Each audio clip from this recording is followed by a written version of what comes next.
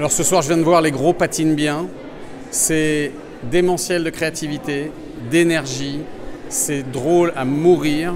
Deux comédiens incroyables. Ils mettent un bazar pas possible. On a, on la peine pour eux à la fin du spectacle, tant ça doit être terrible de remettre de l'ordre dans tout ça. Allez voir, c'est hyper drôle, succulent, intelligent, rare. J'ai pensé que le spectacle a été drôle.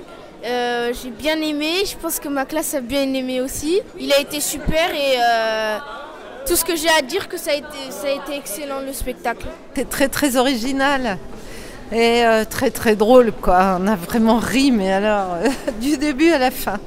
Donc c'était vraiment vraiment formidable.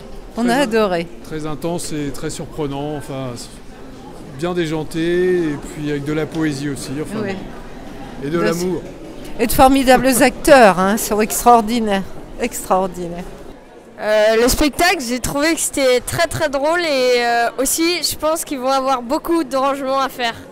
Alors moi c'est vrai qu'en venant je savais pas du tout euh, à quoi m'attendre. On m'a dit tu vas voir c'est une histoire de sirène. Euh, Je me suis dit ah bon ok. Il n'y a pas de dialogue en plus mais prends tes lunettes au cas où. Donc euh, voilà et au final franchement j'ai passé un très bon moment, j'ai rigolé et belle performance. Bon genre c'est du bon courage pour ranger tous les cartons après.